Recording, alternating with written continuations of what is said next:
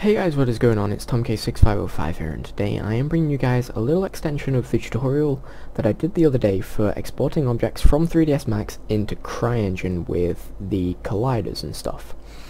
Um, so in the tutorial that I did the other day, I was only working with one CryEngine object um, and one proxy. Um, if you don't know what that means uh, in terms of like the proxy, go and watch the previous tutorial because that covered it. But here I'm working with multiple proxies um, to, you know, for example, you could make uh, kind of a cone sort of object. You could make uh, sort of a standing totem pole sort of thing, I guess. I don't quite know how to describe the kind of shape I'm thinking of. Um, so anyway, launching straight into it, uh, no more chatting. I've made this basic texture here with, again, my proxy and a wall texture which I've dropped into Photoshop, saved as a CryTIFF. Again, if you don't know what that means, go and watch my previous video because I did it there. Um, so what I'm going to do is I'm basically going to make a wall um, with a couple of doorways in it. Um, well, I think I'm just going to make a wall with a or two doorways in it.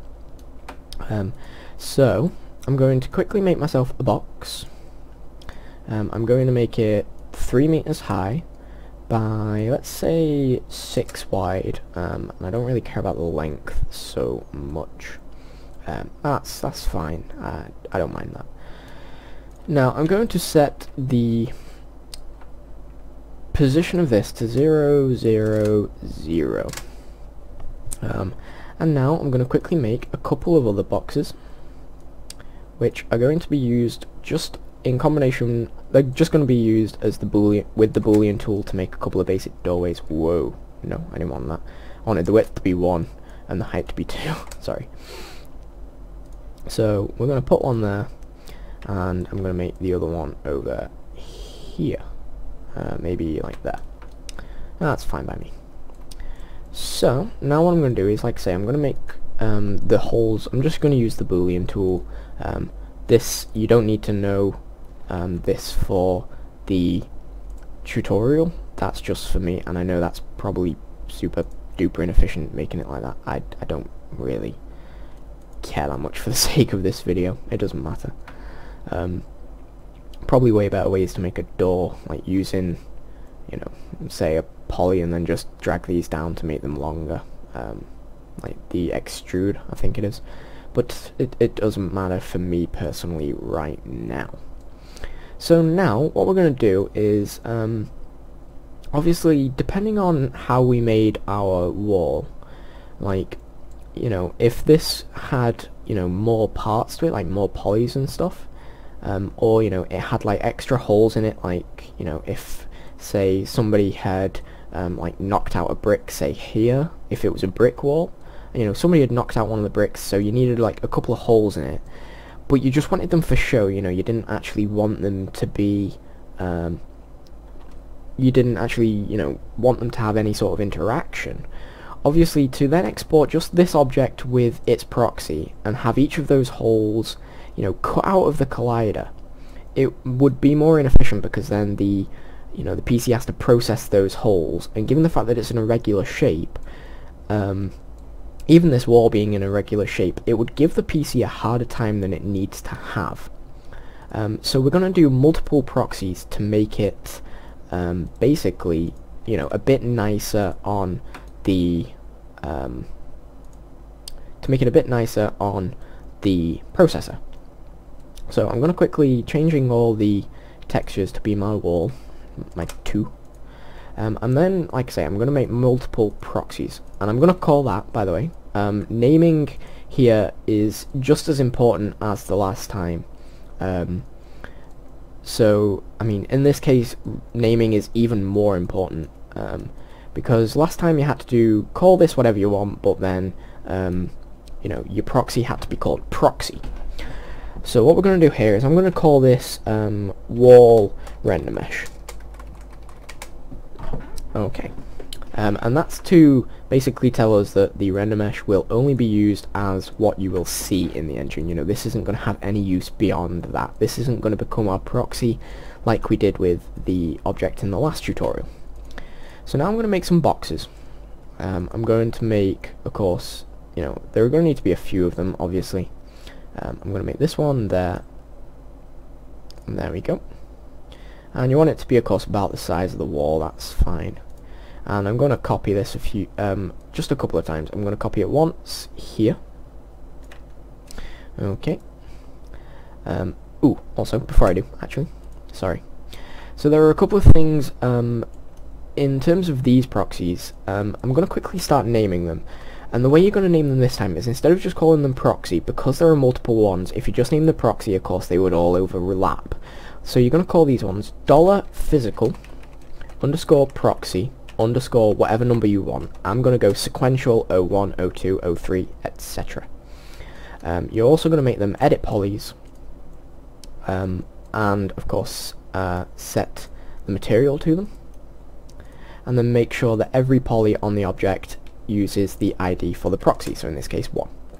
So there you go, that is now um, our proxy object. So now I'm going to copy this over here, like I said before. And I'm just going to make one copy for now, and I'm going to call it physical proxy 02. I'm then going to copy it into the middle, and call it physical proxy 03. Uh, and that's the reason I sorted all the properties out on that one before is so that then when I copy them they're already applied to these. Um, of course depending on how what different shape of proxies your object is going to use you can't just do that every single time. So be wary of that obviously. So I'm gonna again just try and place that in the middle. I'm gonna make it a bit wider than that.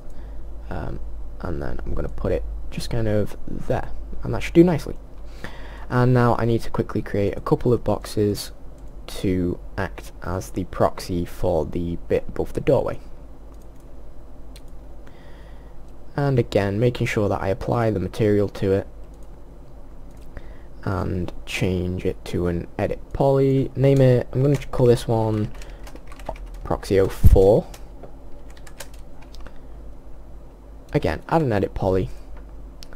Select all of them and set them to be poly. So there we go and drag it up, up, up so it aligns with my doorway and make it taller because it's too small and then I'm going to copy this one over here to be on top of the other doorway I'm going to call that 06 1, 2, 3, 4 oh that can be 05 again my sequentialness it doesn't matter on the number but that's my sequential that's my sequential mind for you. Um, also, these are quite wide. I didn't realise how wide I had made them. Oh well, it doesn't really matter. Now, one thing that we do need to do before we now make them all combine into kind of one object, you'll see how we do that in a minute, but what we need to do is for each of the proxies, and again, you can just highlight them all for this, um, you don't need to you know, go into each one like separately because that would take you a long while. So selecting all of them, you want to right click and go to object properties. You want to go over to user defined and then of course this will change dependent on what you have used as your proxy. Um, but for these, because they're all boxes, I'm just going to type box. Of course, if you know one of them was a cylinder, you wouldn't call that one box. You wouldn't put box in that user property. You would, of course, write you know, cylinder, sphere, whatever it is. Sorry, I forgot what example I used there. But yeah, if it was a cylinder, you would put cylinder. If it was a sphere, you'd put sphere. If it was a torus, I guess you'd put torus, and so on and so forth. So now, with all of those set up, what we're going to do is uh, we're going to create a dummy helper. And I'm just going to place it in the center of my wall. Make it as big as you like. I'm going to make it about that big. And I'm going to place it at 0, 0, 0. Now what you're going to do is you're going to align the pivots of every other object to this helper. So if I go in, if I press H to get my select by name, I'm going to select all of them, except from the dummy itself. Um, go over to your hierarchy tab, um, affect pivot only, and set them all to 0, 0, 0 and now you can see you know if you select every single object they all move and rotate around the same point. Good, good, good stuff. But of course they are all still separate objects, so we now need to export them as one so that the um, engine will recognize this as one big object with the separate colliders. Um, just as well, um, to let you know, um, for obviously you can see we've got the wall render mesh and here is where we need to change the name of our dummy helper to match that so I'm going to call it wall um, for the tutorial I followed, I actually called it separator. I don't know if it matters. I guess we're going to find out in a minute. So I've called that wall, and then of course you've got the wall render mesh sat around somewhere, if I can find it. There you go, wall render mesh. And then the, uh, the dummy's called wall. Now we're going to go into our schematic view, and we're going to go graph editors, um, and new schematic view. If you've already got a schematic view, you can, I guess, open that one, but of course I needed a new one because we didn't already have one. Now you need to follow this very carefully. We're going to go into hierarchy mode and you're going to click the connect th tool thingy. Um, and what you're going to do is you're going to make all of these a child of the dummy helper.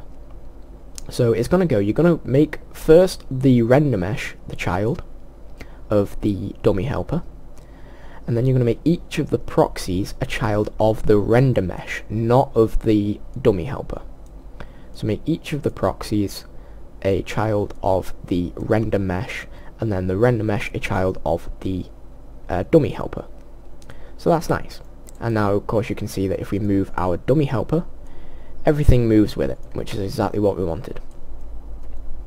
And we're now going to, before we export, we're going to select all of the objects um, and reset the X form on them. I don't know why. It's just part of the tutorial. Go with it. Okay, so we've set up everything, we've done the user properties, we've applied our material, made the proxies proxies, and the render mesh, you know, have the render textures. So that's all we need to do in terms of the modeling. Now we just need to export. So making sure that your overall material is selected as last time, instead of any of the sub-objects, you're going to click Create Material. If your editor's not open, again, you'll get the uh, you'll get the error it'll start up an instance and then you can just click create material again. And I'm going to call it um, test proxy wall I guess. Why not? Okay it doesn't there we go and again you're going to change the shader to no draw and for this I'm going to change the surface type to concrete because it has a rock texture so why not um, okay that's all we need to do there um, and now I'm going to just make sure that when you export, you don't need to add everything. All you're going to do is add the dummy helper. So in my case, my dummy helper is called wall, so there you go. Now I'm going to set the custom file name. Ooh, and bef again, before you try and export, make sure you save. I always, I nearly always forget that. So before you try and export it, make sure that you save your max file, otherwise it won't work. So again, I'm just going to call this wall proxy test. Now, making sure that I set the name to be the same as the material that I made before. I'm just going to see what I called it, I can't even remember. Uh, test proxywall.mtl, so I'm going to call it... Oh, nearly. I'm going to call it test proxy wall. Is that it? Yeah, test proxy wall. And export nodes, and hopefully everything should go fine like it just did. I didn't get any errors, so that's perfect hopefully. So if we hop along into our editor, ooh, ooh, no, I've already got it open. No, don't crash on me. Thank you. so I'm going to go into my brush, you can see these are my previous tests, and here is separator 1 and separator 2. That's why I decided to try changing the name this time, so test proxy wall, and it unfortunately didn't pick up the material again. so I'm just going to go and apply it. So there you go, you can see that the texture's gone fine, you can't see the proxy objects, um, but hopefully, when we spawn him, of course there we go, you can walk into the walls themselves, but you can walk through the doorways um, that I made. So there you go, that is how to make the object with multiple proxies, and export them all as one big file. Sorry, did I mention, um, actually? Ooh, that was silly of me. I don't know why I did that. Whoops. Sorry. I'm gonna get rid of that. yep. and I'm actually going to close my editor right now. Um, I'm going to reopen an instance of it because I forgot. I don't know, it still worked there so I don't know how important it is but you need to make sure that when you export you also check export file per node um, and leave merge all nodes off. So again I'm going to export no problems so that's nice. I don't know how I forgot that, I really don't because that was apparently quite a vital part of it but you can see that it did work without it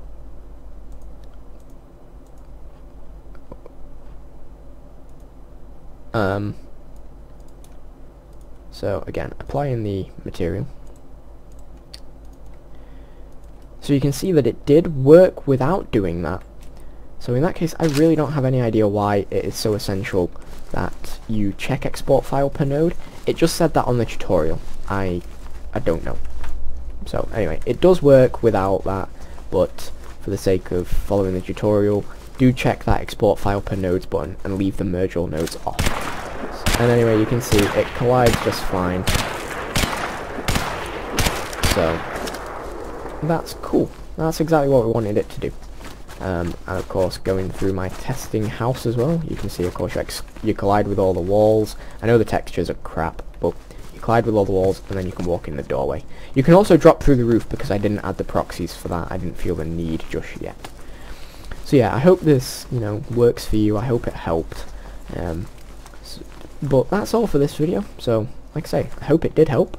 Um, I hope it did work. If not, I'm sorry. I don't know what would be wrong with it. You can see it worked perfectly for me. So, I don't know. If you didn't follow it, obviously, exactly, then uh, just try going back over it and try following it as exactly as you can. Um, but again, then this can be done for you know as many objects as you really need um, so you could go um, and you could make a another box for another wall. You could then duplicate or apply that texture to the box. Changing it into an edit poly again you can then of course you know make that one have the uh, you know wall texture. Copy it have it as the proxy. Uh, I'm going to call that physical proxy. I think it was 6 I need this time. Um, and with that one, uh, select all of them. Set it to the proxy. Uh, make sure that you change the proxies properties again to box and go back into your graph editor, open that schematic view that we had before. And now of course you've got the new one, so... Oh, again, you would need to combine that into the render mesh. Sorry, I forgot about that. Again, just make sure that you then make the physical proxy a child of the render mesh. Um, export, of course, that dummy helper on its own again, and that one should collide as well. So it it can be done for as many objects as you need. Um, so.